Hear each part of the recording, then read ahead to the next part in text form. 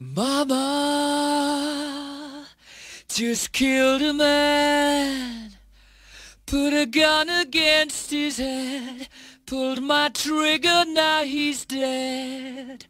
Mama, life it just